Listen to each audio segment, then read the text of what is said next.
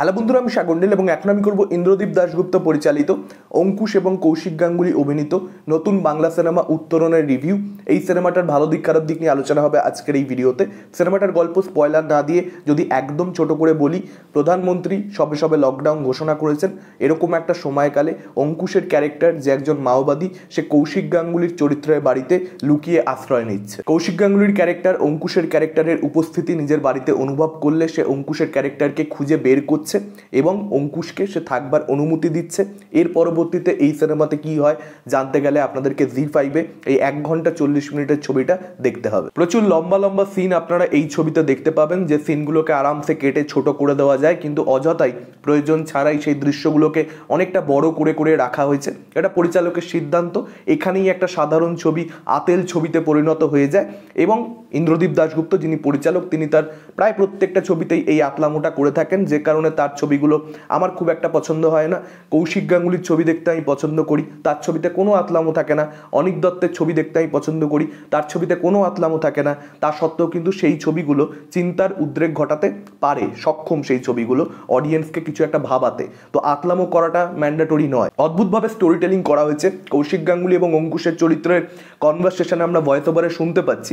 কিন্তু যে দৃশ্যগুলো দেখানো হচ্ছে তখন সেখানে কিন্তু কৌশিক গাঙ্গুলি কিংবা অঙ্কুশের কারুর মুখ নড়ছে না। অর্থাৎ তারা কিন্তু সেই দৃশ্যগুলোতে কথা বলছে না। কনভার্সেশন যেটা আমরা শুনতে পাচ্ছি, সেটা অন্য কোনো দৃশ্যের এবং যে দৃশ্যগুলো চলছে, সেখানে তারা এমনি বসে রয়েছে। একে অপরের দিকে হয়তো তাকিয়েও নেই, যেটা বললাম মুক্ত নড়ছেই না। তো এইভাবে স্টোরি টেলিংটা করা হয়েছে। সেই দৃশ্যগুলো এমনি দেখতে ভালো লাগে। কৌশিক গাঙ্গুলি এবং অঙ্কুশের কনভারসেশন এই সিনেমার সবচেয়ে ভালো দিক আমি বলব। সেই দৃশ্যগুলোতে যে ডায়লগগুলো শোনা যায়, সেগুলো ডেফিনেটলি বেশ ভালো। সায়নী ঘোষের নিজের গলাতে আমরা গান শুনতে পাই জ্যোৎস্না রাতে। সেই গানটা খুব সুন্দর গেয়েছেন সায়নী এছাড়াও আরেকটা গান আমরা শুনতে পাই বিস্ময়ে তাই জাগে। এই গানটাও শুনতে ভালো লাগে। তবে এগুলো সিনেমার ভালো দিক কি? সেটা একটা প্রশ্ন। এবং এই সিনেমার মধ্যে যখন অঙ্কুশের প্রথম দৃশ্য, যখন অঙ্কুশের এন্ট্রি হচ্ছে বলা যেতে পারে, সেই সিনে কৌশিক গাঙ্গুলি তার মুখে টর্চ ফেলেছেন। অঙ্কুশের ফেসিয়াল এক্সপ্রেশন দুর্দান্ত জাস্ট দুর্দান্ত। মানে অঙ্কুশের পারফরমেন্স নিয়ে আমি পরে আসছি পার্টিকুলারলি এই দৃশ্যটাতে। ব্যাকগ্রাউন্ড স্কোরের কাজ অসাধারণ। সারা ছবিতে বিভিন্ন জায়গাতে ব্যাকগ্রাউন্ড স্কোরের কাজ খুব ভালো, যে কারণে বেশ কিছু জায়গা ড্রামাটিক হয়ে ওঠে। অঙ্কুশের ক্যারেক্টারটা একটা খুব বড় রোগে ভুগছে এই সিনেমাতে। আমি কি রোগ, কি বৃত্তান্ত যাবতীয়তে ঢুকছি না। সেই যে রোগে ভোগাটা, সেটা আপনি অঙ্কুশের অভিনয় দেখলে খুব পরিষ্কারভাবে বুঝতে পারবেন। সে যখন কষ্টে কাতরাতে কাতরাতে ওমা বলছে তার ওই ফিলিংসটা সে কতটা ভুগছে আপনি বুঝতে পারবেন। অঙ্কুশ না এই পুরো সিনেমাতে একটা দারুণ দারুণ পারফরমেন্স দিয়েছে, পুরো বডি দিয়ে অভিনয় করেছে। শুধু অভিনয়টা ফেসিয়াল এক্সপ্রেশনের মধ্যে সীমাবদ্ধ নয়। অঙ্কুশের আমি যত কাজ দেখেছি, সেগুলোর মধ্যে এটা অঙ্কুশের ডেফিনেটলি আমার মতে বেস্ট পারফরমেন্স এত ভালো কাজ অঙ্কুশকে এর আগে করতে দেখিনি এবং বরাবরই আমি একটা কথা বলে এসেছি লাস্ট ছ মাস ধরে যে অঙ্কুশের মধ্যে কিন্তু যথেষ্ট পোটেনশিয়াল রয়েছে। ম্যাজিক সিনেমার পরের থেকে সে যে কাজগুলো করেছে, সেই কাজগুলো খারাপ হতে পারে। কিন্তু সেখানে তার পারফরমেন্স কিন্তু প্রশংসিত হয়েছে ম্যাক্সিমাম জায়গাতে। অঙ্কুশ সেই সব পারফরমেন্সকে টপকে গিয়ে এই ছবিতে যে কাজটা করেছে, সেটা চিরকাল অঙ্কুশের ভক্তরা মনে রাখবেন। বাংলা সিনেমা প্রেমীরা সেটা মনে রাখবেন, কিন্তু বেশ কয়েক বছর পরে গিয়ে এই ছবিটার ব্যাপারে কেউ কথা বলবে কিনা এটা নিয়ে আমার যথেষ্ট ডাউট রয়েছে। এই ধরনের ছবি খুব একটা পপুলার হয় না। যে কারণে অঙ্কুশের এই পারফরমেন্সটা এত অসাধারণ একটা কাজ তার, সেটা কিন্তু হারিয়ে যাওয়ার যথেষ্ট সম্ভাবনা রয়েছে। এটা দুর্ভাগ্যজনক, কিন্তু যেটা বাস্তব, সেটা আমাদেরকে মেনে নিতেই হবে। আমি এটাই চাইব আগামী দিনে অঙ্কুশের এই অভিনয়টা অ্যাটলিস্ট তাকে যেন বড় বড় পরিচালকদের সঙ্গে কাজ করার সুযোগ করে দেয়। বড় বড় পরিচালকেরা তাকে নিয়ে যেন একটু ভাবেন, কারণ এই অভিনেতার মধ্যে প্রচুর পোটেনশিয়াল রয়েছে র এনার্জি রয়েছে, সেটাকে জাস্ট চ্যানেলাইজ করতে হবে, ভালো ভালো পরিচালকরাই সেটা পারবেন। আমি চাই পপুলার ছবিতে অঙ্কুশ এরকম ত্রিমেন্দাস পারফরমেন্স দিক এবং তার অভিনয়ের প্রশংসা সাধারণ দর্শক করুক, কারণ ভালো অভিনেতা সবসময় অ্যাপ্রিসিয়েশন পাওয়া সেটা সে ডিজার্ভ করে। আমি জানি না এই ছবির ক্ষেত্রে সেটা অঙ্কুশ পাবেন কি না কিন্তু ভবিষ্যতে আশা তো রাখা যেতেই পারে। কৌশিক গাঙ্গুলি নিজের চরিত্রে দারুণ অভিনয় করেছেন, যেটা তিনি তার প্রায় প্রত্যেকটা ছবিতেই করে থাকেন, কিন্তু কৌশিক গাঙ্গুলির সঙ্গে স্ক্রিন শেয়ার করে অঙ্কুশ এই ছবিতে শোজ টেলার এটা কিন্তু দারুণ দারুণ একটা অ্যাচিভমেন্ট অঙ্কুশের চরিত্রে ডেফিনেটলি অনেক বেশি জায়গা ছিল অভিনয় করার, যে জন্যই সেটা সম্ভব হয়েছে। কিন্তু অঙ্কুশের ক্রেডিট কোনোভাবে কেড়ে নেওয়া যায় না।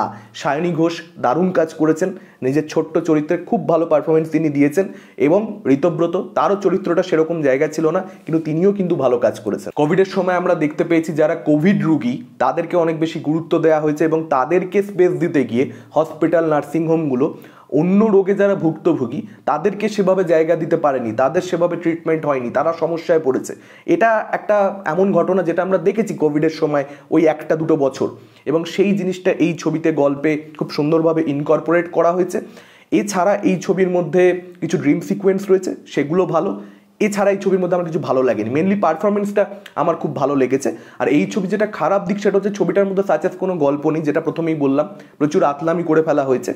যে কারণে এই ছবিটাকে আমি খুব ভালো ছবি কখনোই বলতে পারব না এবং ছবির শেষ ভাগে গিয়ে কৌশিক গাঙ্গুলির ভয়েস ওভারে পরিচালকের যেটা বক্তব্য, সেটা পরিচালক তুলে ধরেছেন, আমরা সেটা শুনতে পাই। কিন্তু আফটারঅল সেটা খুব একটা ইম্প্যাক্টফুল হয় না। কারণ গল্প অডিয়েন্সকে ভালো লাগতে হবে অডিয়েন্সের সঙ্গে গল্পটা কানেক্ট করতে হবে। তবে গিয়ে পরিচালকের বক্তব্যটা ভালোভাবে কনভেট হবে। গল্প ভালো না হলে পরিচালকের বার্তা আফটারঅল কিন্তু দর্শক অব্দি কখনোই পৌঁছায় না সঠিকভাবে। বা সেই বার্তা যদি অডিয়েন্স অব্দি পৌঁছেও যায়, সেই বার্তাটাকে অডিয়েন্স খুব একটা নিজের মনের মধ্যে দেয় না। চরিত্রগুলোর সঙ্গে কানেকশন গড়ে উঠলে তবেই সেই বার্তাটা কিন্তু সঠিকভাবে কনভেট হয়, সেখান থেকে অডিয়েন্স কিছু শেখে, বোঝে এবং ভবিষ্যতে নিজের জীবনে সেটা ইমপ্লিমেন্ট করে। কিন্তু সেটা এখানে হবে না এবং এই ছবির মধ্যে বেশ কিছু দৃশ্য রয়েছে। যে দৃশ্যগুলো আমি বুঝতে পারিনি যে কেন রাখা হয়েছে। ওইটা কি আতলামি বলে বোধ হয় ওই দৃশ্যগুলোতে যা দেখানো হয়েছে সেটার যে কি সিগনিফিকেন্স আমি বুঝতে পারিনি। যদি আপনারা বোঝেন, সেক্ষেত্রে আপনাদের ওই দৃশ্যগুলো ভালো লাগবে। একটা পার্টিকুলার সিনকে বারবার রিপিট করা হয়েছে। কৌশিক গাঙ্গুলির আশেপাশে camera three sixty degree rotate করছে। এই দৃশ্যটাকে ছবিতে বারংবার দেখানো হয়েছে। কি সিগনিফিকেন্স আমি বুঝতে পারিনি। পরিচালকের নিজের মতো করে ব্যাখ্যা থাকতে পারে। কিন্তু যদি ম্যাক্সিমাম অডিয়েন্স বুঝতেই না পারে, আমি জানি না সেটা আফটারঅল কতটা কি দরকারি শট এবং এই সিনেমার মধ্যে একটা আন্ডার লেয়ারে বক্তব্য ছিল পরিচালকের সম্ভবত, যেটা আমার ইন্টারপ্রিটেশন আমি জানি না এটা আদৌ পরিচালক বলতে চেয়েছেন কি না অঙ্কুশের ক্যারেক্টারটা যে মানুষ মেরেছে, মানুষ মারার মধ্যে দিয়ে প্রতিবাদ আন্দোলনের রাস্তা খুঁজে নিয়েছে কৌশিক গাঙ্গুলির ক্যারেক্টারটা যে ডাক্তার, যে মানুষকে সবসময় বাঁচানোর চেষ্টা করেছে, মানুষকে আশ্রয় দিয়েছে, মানুষের সুস্থতার জন্য নিজের জীবন নিয়োগ করেছে, এই যে একটা কন্ট্রাস্ট দুটো ক্যারেক্টারের মধ্যে এবং সেই দুটো ক্যারেক্টারের হঠাৎ দেখা হয়ে যাচ্ছে, তারপর সিনেমাতে কি হচ্ছে এবং দুটো ক্যারেক্টার দুটো ক্যারেক্টার থেকে ঠিক কী শিখছে, এই বার্তাটা না ঠিকঠাকভাবে কনভেড হয়নি। এটাকে খুব সুন্দরভাবে ব্যবহার করা যেতে পারতো, কিন্তু ওই যেটা বললাম, আতলামো, যে কারণে আফটার অল কী যে পরিচালক বলতে চাইলেন, কি বোঝাতে চাইলেন, আমি জানি না, আপনারা বুঝতে পারলে আপনাদের ভালো লাগবে। আমরা সাধারণত দেখি থানায় চা চলে, এখানে আমরা দেখছি থানায় কফি হয় এবং আমরা দেখছি থানাতে ইংলিশে খবর দেখা হয়। এই জিনিসগুলো একটু বোকা বোকা লাগে, যেখানে পার্টিকুলার যে পুলিশ অফিসারকে দেখানো হচ্ছে, সে পোদ মেরেছে, গান মেরেছে, এই ধরনের শব্দের ব্যবহার করছে, সে আবার কফি খাচ্ছে মানে এইরকম শব্দ বলা সত্ত্বেও কপি খাওয়া যেতেই পারে, কিন্তু থানাতে জিনিসটা একটু বেমানান লাগে, ইংরেজিতে খবর দেখা, থানাতে একটু বেমানান লাগে, ভাই পাতি বাংলা চলে। কোভিড সিচুয়েশন জাস্ট ভেবে দেখুন, যখন জনতা কারফিউ হয়েছে, তার পরবর্তীতে যখন অ্যানাউন্সমেন্ট হলো ফুল লকডাউন মানুষ মানুষকে সন্দেহ করছিল, মানুষ মানুষকে লিটারালি ভয় পাচ্ছিল। সেরকম একটা সিচুয়েশনে একজন ডাক্তার, কৌশিক গাঙ্গুলির ক্যারেক্টার সে অঙ্কুশ কাশছে দেখে অঙ্কুশকে আশ্রয় দিচ্ছে, থাকবার অনুমতি দিচ্ছে। এবার সেটা কেন দিচ্ছে? কারণ কৌশিক গাঙ্গুলি ডাক্তার এবং কৌশিক গাঙ্গুলির ক্যারেক্টারটা সিনেমাতে আরও একটা ক্যারেক্টার আছে, যাকে সিনেমার যে টাইম লাইন থেকে গল্পটা আমাদের বলা হচ্ছে, তার আগে কখনো পাস্টে কখনো আরও একটা ক্যারেক্টারকে আশ্রয় দিয়েছে নিজের বাড়িতে। আপনারা ছবিটা দেখলে বুঝতে পেরে যাবেন। এবার কৌশিক গাঙ্গুলির সেটা হ্যাবিট সে মানুষটাই ওরকম, সেটা করেই থাকে। মানুষকে সাহায্য করা, এটা তার একটা ভালো দিক বলা যেতে পারে। সেটাকে তো ফুটিয়ে তুলতে হবে। ওই সিনগুলোকে এমনভাবে ডিজাইন করা হয়েছে, লেখা হয়েছে এমনভাবে সেখানে ডায়ালগস যেন মনে হচ্ছে কৌশিক গাঙ্গুলির ক্যারেক্টারটা ইচ্ছা হয়েছে থাকতে দিয়ে দিচ্ছে, গল্পটাকে এগিয়ে নিয়ে যেতে হবে তার জন্য। এবার হতে পারে পরিচালক খুব সাটেলভাবে এই ব্যাপারটাকে তুলে ধরতে চেয়েছেন, খুব সাটেল খেলতে চেয়েছেন তিনি। বেশি অন দ্য ফেস যেতে চাননি। খুব ভালো কথা, এটা ভালো অ্যাটেম্প্ট কিন্তু তবুও কিছু দৃশ্য রাখতে হবে। কিছু দৃশ্য যেখানে হয়তো ডায়লগস নেই, কিন্তু ভিজুয়ালি অডিয়েন্সকে বোঝানো হচ্ছে যে কৌশিক গাঙ্গুলির ক্যারেক্টারটা তার ডাক্তারির যে সত্তাটা, সেটা অনেক বেশি ডমিনেন্ট হয়ে উঠছে। যে কারণে সে থাকতে দিচ্ছে। মানে এত সাটেল ভালো না যে মিসিং মনে হবে। যাই হোক, এটা ছিল আমার ওভারঅল মতামত এই সিনেমাটা সম্পর্কে। এটা ঠিকঠাক সিনেমা বলা যেতে পারে মেনলি পারফরমেন্সের জন্য, অঙ্কুশের জন্য, অঙ্কুশের কাজের জন্য অবশ্যই একবার দেখুন। অঙ্কুশের এই পারফরমেন্সটা হারিয়ে যাওয়া উচিত নয় অডিয়েন্সের অবশ্যই দেখা উচিত। এটা ছিল আমার ওভারঅল মতামত এই সিনেমা সম্পর্কে, আপনাদের কীরকম লেগেছে? যদি অলরেডি দেখা হয়ে থাকে ডেফিনেটলি আমাদের সাথে কমেন্ট করে জানাতে পারেন। ভিডিওটা ভালো লাগলে ভিডিওটাকে লাইক করতে পারেন শেয়ার করতে পারেন, যাদের সিনেমা লাভার ফ্রেন্ডদের সঙ্গে আমাদের চ্যানেল নতুন হন, তার চ্যানেলটাকে অবশ্যই সাবস্ক্রাইব করতে পারেন। কারণ আমরা এরকম সিনেমা ওয়েব থ্রির সঙ্গে ভিডিওস করতে থাকি। আজকের মতন টাটা চোখ পরবর্তী ভিডিওতে।